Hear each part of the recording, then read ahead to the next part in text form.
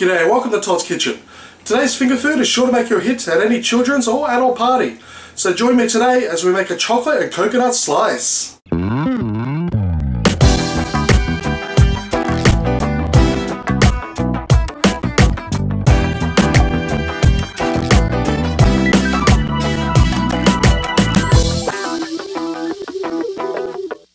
Okay, now to start off with, we're going to sift through our self-raising flour.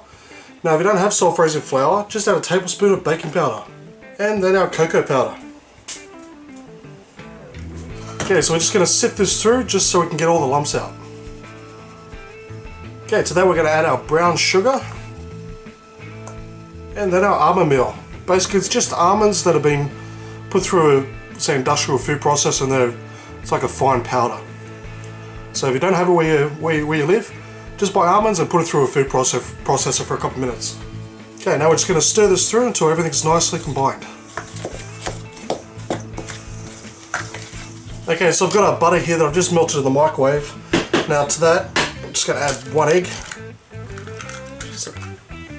And we're just going to give this a quick whisk, just so the egg's broken up into the butter. Okay, once done, we're just going to pour the wet mix into the dry mix. And just give it a good stir through until all the ingredients are combined.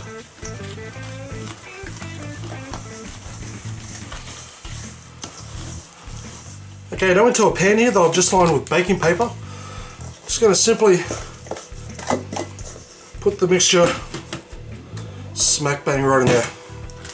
And we're just going to even it out just so it's nice and uniform and flat.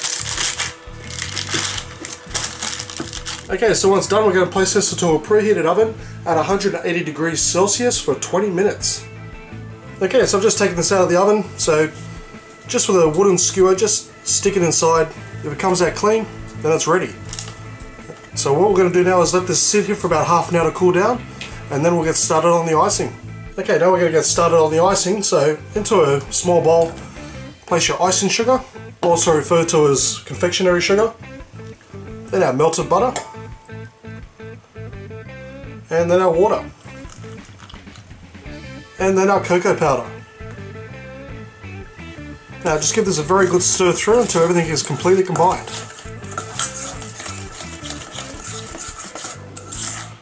Okay, now it's just a matter of pouring the icing on top and spreading it out across the, the top of this nice and evenly.